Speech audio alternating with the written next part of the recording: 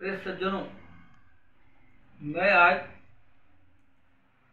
धूल गंवार शूद्र पशुनारी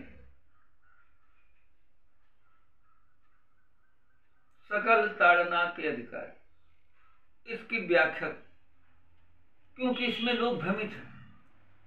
तरह तरह के अपने अपने हिसाब से लोग व्याख्या कर रहे हैं। जनों मैंने भी एक अच्छा अर्थ निकाला। जिसमें मैं आपको बताना चाहता हूँ कि मैंने इनके तीन अर्थ निकाला। तीन अर्थ। जिसमें तीन अर्थ में जो सबसे मुझे जो निकृष्ट अर्थ लग रहा है है तो है लेकिन जो लोग, कुछ लोग उसको लगाते हैं, निकृष्ट कुछ लोग है, वो उसको नहीं समझ पाते तो कैसा अर्थ पहले निकालते हैं जो सबसे कम स्तर का अर्थ देखिए।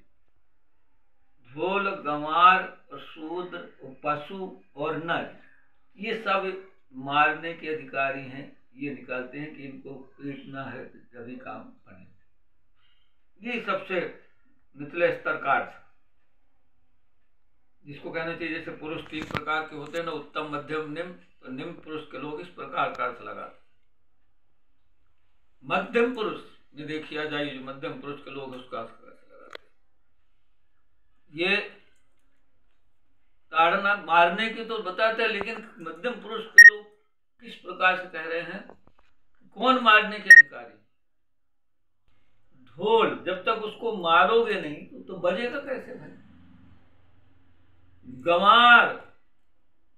गंवारी जो गंवार होता है उस गंवारी करके जब तक तो उसको गंवार के साथ गंवारी पीटना नहीं हो तो उसको सीधे में लाइन पे नहीं आएगा।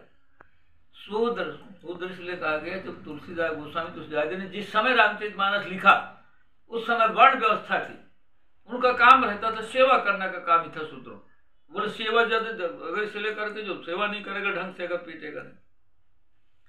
पशु अगर पीटोगे नहीं तो बोले, वो भी है सही रास्ते पर नहीं चलेगा। और नारी, और इस इस प्रकार के जो है ना, नहीं, पहले सीधे अर्थ बता दे, ढोल ढोल पीटना पड़ेगा। और गंवार शूद्र थोड़ा व्याख्या। फिर पुनः आप गौर करें। कि कौन मारने के अधिकारी है जो मध्यम वर्ग के, मध्यम स्थिति का जो अर्थ है? एक तो ढोल को पीटना ज़रूरी। और शूद्र जो है का गंवार विशेषण लगा हुआ है शूद्र का। गंवार शूद्र शूद्र भी है, लेकिन जो जिसमें जो गंवार है, सब नहीं, जो नहीं ध्यान देता, उसको पीटने से ही वो काम करेगा और नारी भी पशुवत पशु उसके विशेषण लगा हुआ है नारी की है, पशुवत नारी, जिसके आचरण पशु जैसे हों, वो मारने के अधिकारी ये मध्यम स्तर का ये अर्थ है। लेकिन अब आप इसमें आ जाए जो मैंने, जिसको मैं स्वयं उपयोगी समझता हूँ, उच्च स्तर का अर्थ जिसको वाकई में जो सही मानना चाहिए। हम अपन अलग अलग अर्थ निकालते हैं जबकि तुलसीदास जी गोस्वामी जी ने ताड़ना मतलब निगरानी। ये सटीक अर्थ है। निगरानी रखना। ये बताया गया कि भाई निगरानी, ढोल ढोल की निगरानी बहुत ज़रूरी नहीं गड़बड़ हो जाएगा अगर निगरानी न रखी जाए। किसी को सुट लगा तो कुछ भी गंवार, उसकी जो कोई है उस पर निगरानी रखना पड़ेगा। नहीं तो कभी भी गंवारी कर बैठेगा। शुद्र, उस पर भी निगरानी तो सेवा से कभी भी धोखा देगा आज सेवा कुछ कार्य नहीं करे, इसलिए निगरानी बहुत ज़रूरी है। पशु, अगर निगरानी न करी जाए तो पशु कहीं के कहीं चले जाए।